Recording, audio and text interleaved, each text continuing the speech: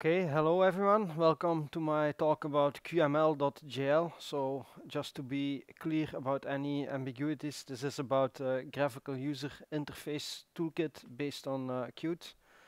Also welcome to everyone online. I hope my son was also able to join me uh, online, but uh, we'll see tonight if he watched the stream or not. So uh, QML.jl, this talk is mostly about what's new, but still um, before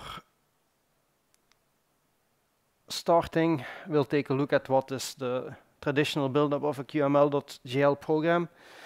So it's based on the Qt uh, graphical user interface toolkit, uh, which has itself two components. One of these is QML, which uses a separate markup language for the graphical user interface. So basically you need a Julia program and this markup file, uh, the data exchange then happens through different kinds of connectors that we will illustrate using this simple toy uh, problem here. So basically, the, you write a Julia code um, where you have some observables, standard Julia observables that you connect to the graphical user interface. You can also uh, make functions available on the QML side us using the add QML function macro. And then basically you just load the QML file, introduce so the observable as properties, and in that sense you can uh, make the GUI that we saw previously work. The QML file is uh, basically a list up of uh, different components, the main one here being the text field that when you enter a value uh, will double this value by calling a Julia function. So that's a very simple example. So now I want to highlight uh, what is new and uh, the kind of program that we will make during this presentation. So the main uh, novelty of the uh, QML.jl with respect to the last major release is that we upgraded to Qt6, which gives all kinds of enhancements. But also we introduced a table model, so the example application here will be used to do all kinds of manipulations on a Julia data frame using the graphical uh, user interface. So it will allow us to uh, insert columns, delete columns, edit the values of uh, data like we're doing here on the standard iris dataset that comes with uh, data frames.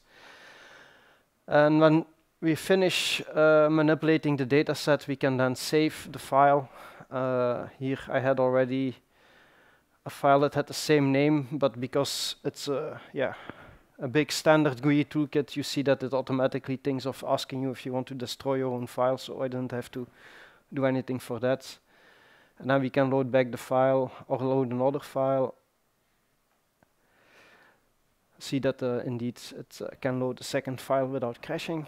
And then um, load our original file again to check that indeed the saved file is what we get back with the renamed columns and the incorrect values. And also on the Julia file, you have immediately the data frame as it was manipulated in the in the GUI, so you don't necessarily need to to save it. So to make this uh, application, the first step here uh, that I wanted to show is that you can make it in a kind of graphical user interface design tool, as since QML is used by quite a lot of people. Uh, there are some tools that exist to um, manipulate it, and I forgot to start the movie here.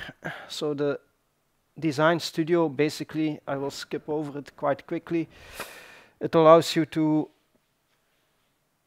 using a drag and drop interface that I must admit is a bit frustrating for me at least, but I'm not a GUI design expert, uh, allows you to uh, draw up the GUI. So here we use this tool to make to make the global layout of the application, replacing the table view with a white rectangle, because unfortunately this tool does not support the table view, even though table view is a QML component. Not all QML components are supported in this tool by uh, Qt themselves.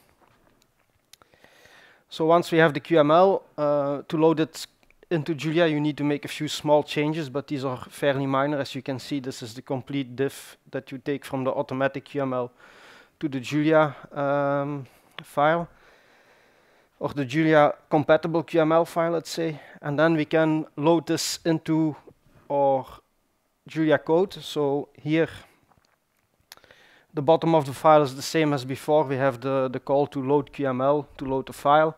Before that, of course, there's a few more things because we now have a fully functional uh, data frame editor. So what are the main things that we need to do? Uh, we need to override a few functions to allow uh, setting and getting of the headers, setting of the elements, and then we have uh, the, the, longest function is actually the one to load the data frame because there we'll do all the setup to set the uh, set the headers um, and to set actually the Julia table model. So the table model itself, it is then communicated using here this Julia properties struct, which contains all accessible properties, which is defined at the top here. So here we have the actual table model, which by default will be empty until the user clicks uh, the load button. Uh, so the Julia code itself is quite simple and consists of only standard Julia functions uh, using uh, basically a kind of translation between what the QML table model interface expects and what is exposed by the data frames. And then we can use this in the QML file itself. And so you see the key component here, which I will just show, is that you have a standard uh, table view component, which as a key property has the model itself, which will be more or less directly our data frame, slightly translated sometimes using the, the functions that we provided. So I'll not go into detail in the interest of time. Uh, one new feature I wanted to show, which was uh, thanks to Janis uh, in the room here who requested it. Uh, you can now modify a single, if you work with one main QML file, you can just modify this, and if you save it, automatically you will see the update in the running Julia program on the, on the GUI. It was, for this functionality, not hard to do, uh, but it needs uh, a bit more extension. So yeah, what is new, I already briefly mentioned, the model and the fact that we are in Qt 6 now. Uh, one important uh, consequence of that is that we can use Wayland, the live coding I've shown also, and the new version also comes with uh, a bit more robustness. What I hope to do in the future is to improve support for uh, Makie, so for the uh, plotting toolkit. Uh, maybe split off this data frame support into a separate, more elaborate package so that you can just have a data frames widget in any GUI that you want to make without having to repeat this code. Uh, live coding needs to be extended to multiple files. I also want a web view, but this requires compiling uh, the Qt web view component, which contains Chromium. Compiling that on uh, Yggdrasil with Binary Builder is not so easy.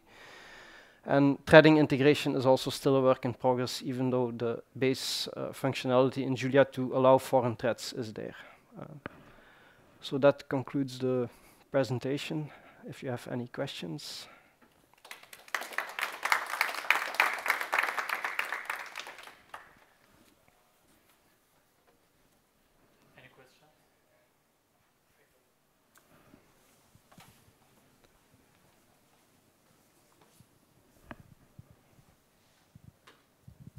Can you comment more on this threading integration, what you mean with that?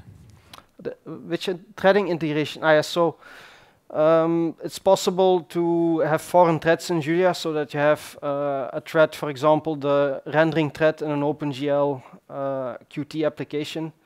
If uh, you do nothing special and it calls a Julia function, the application will crash.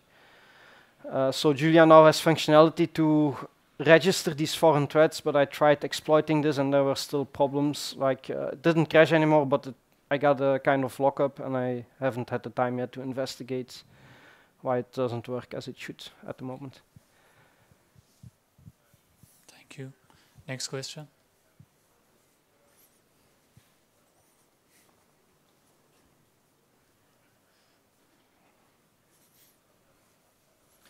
Okay. No question. Thank you. Kalafori. Thank you.